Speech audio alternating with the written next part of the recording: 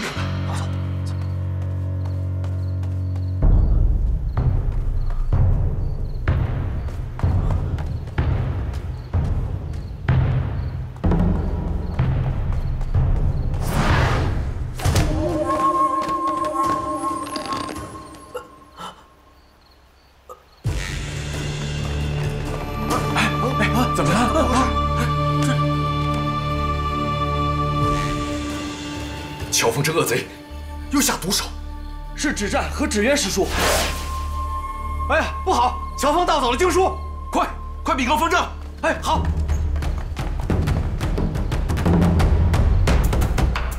这笔账又栽在我头上。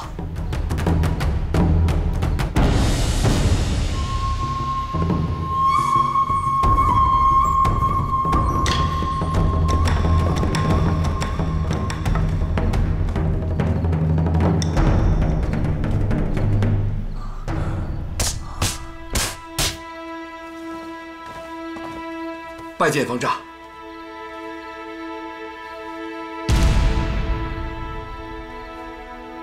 是乔峰做的吗？他怎么知道这途经的秘密？不是乔峰，是是芷清。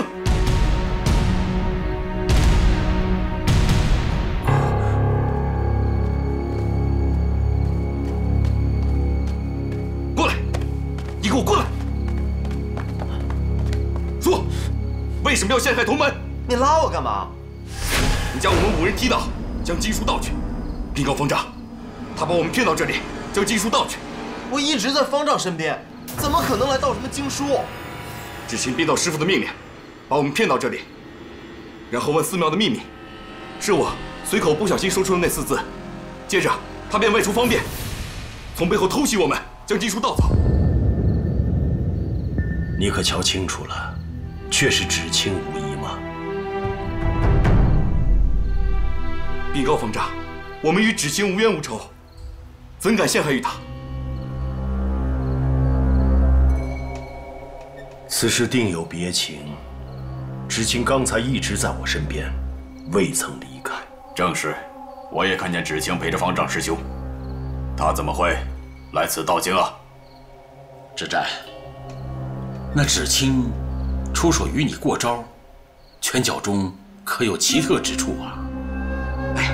我给这事儿忘了。他与弟子过招时，用的并不是本门功夫。是哪一门哪一派的功夫？你能瞧得出来吗？他的功夫阴毒的很，绝不是咱们少林派的功夫。各位师叔师伯，这说起来，先前芷清师叔问过我，这菩提院的去处，我当时只是有些奇怪。他入寺比我早，照理应该知道在哪里。但现在想起来应该不是这位执心师叔。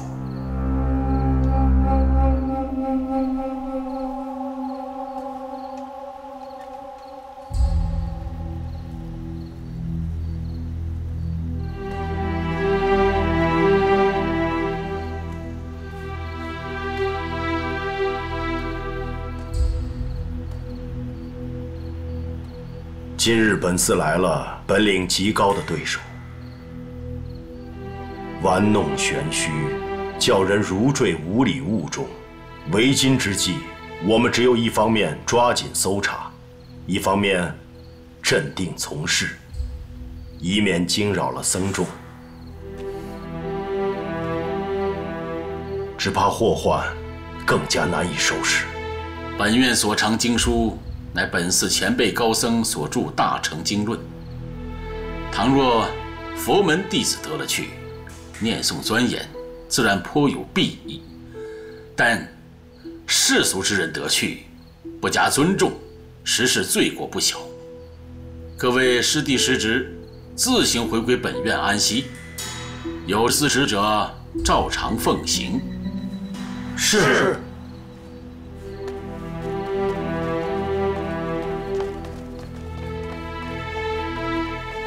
阿弥陀佛，